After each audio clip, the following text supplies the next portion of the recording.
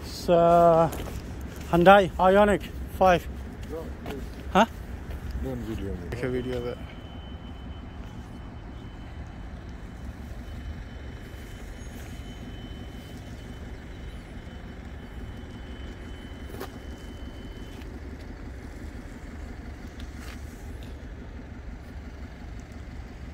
Brother,